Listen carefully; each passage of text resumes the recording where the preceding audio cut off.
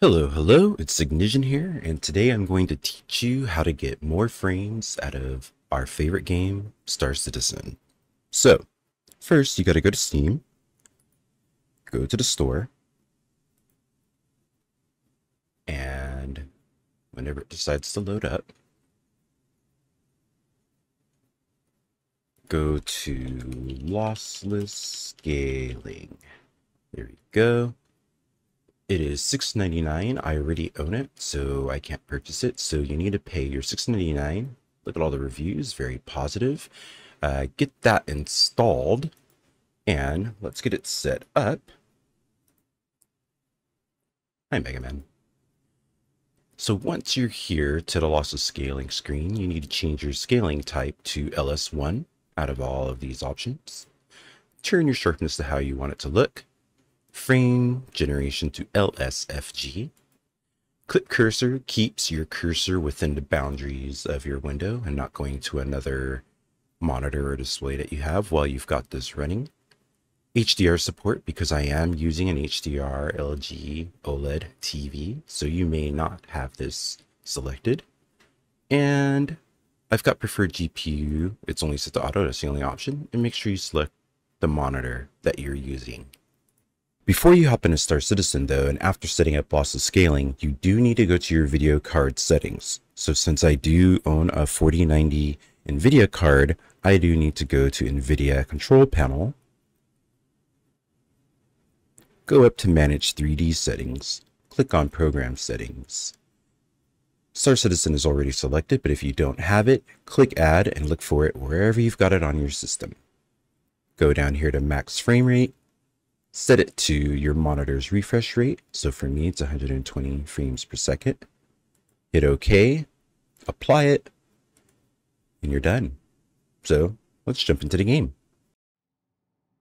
All right, so we've woken up in Lorville, which is a good place to test. The frames here are, um, I think a lot of players struggle here. So let's go head out to fly out of this city. In between now and taking off, I will put on lossless scaling so you could see the difference in frames. So I'm here in the Habs. Got a little friend with me here. I've got 32 frames per second, which you can see in the upper right corner.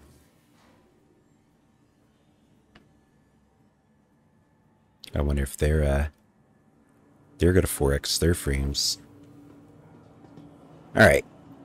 So this area shows, oh, as the wind pushes me back, this area shows a lot of the city. You're still inside, but you're here. And look at my frames going uh, high 20s to 30s. Show the character to give it a little more, a little more to render. But yeah, I'm on 120 hertz monitor and you can tell this is 30 to 34 frames a second. So now if I hit the shortcut for lossless scaling, which is Control Alt S, that should have worked. Control Alt S. There, in the upper left corner, you will now see 120 frames a second, which is four times more than the 30s and high 20s I was getting.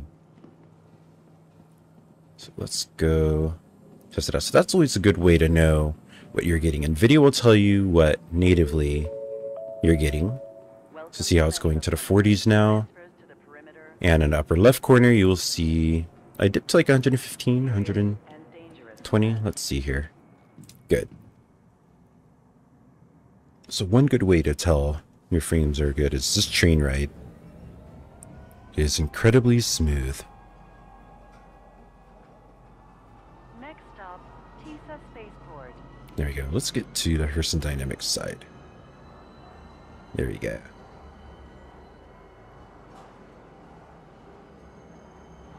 So I'd be getting 30 frames a second roughly. But if you see in the upper left corner, it's 120 and it looks like it. Now arriving, Teasa Spaceport. Please watch your step when disembarking the train. But I'm just somebody on a train. Let's go hop in um, an 85X. And you'll be able to see what it's like to fly around a city. The true test. If you watch my streams, you know the 85X is one of my favorite ships ever since I first tried it in uh, VR. So let's go take that one out. It's always Hangar 9. It's a small ship. Gotta go way out here. As always, with your own eyes, take a look. Upper right corner for NVIDIA, telling me the native FPS I am getting. And upper left corner for lossless scaling to tell you the frames that are being output. It's best to go to third person, so there's more to render. So it just looks good.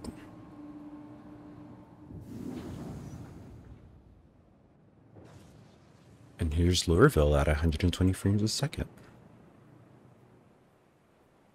Now, of course, video is going to output to 60 frames a second, so you cannot see uh, the benefit of 120, but it should be running at the full 60 and not the 25 that NVIDIA says I'm getting. So unfortunately, you're going to have to see this for yourself.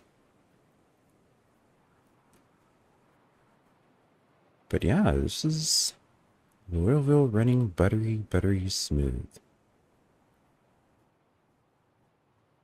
I hope the recording is not adding these hitches because when I play and I'm not recording, things are pretty good. But, uh, tiny, tiny hitches here and there. Not even frame drops, just little hitches. It's not the program.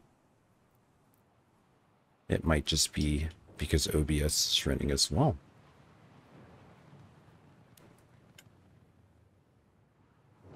Yeah, now you can fly around Lorville and enjoy these tunnels if you've got a ship small enough for it.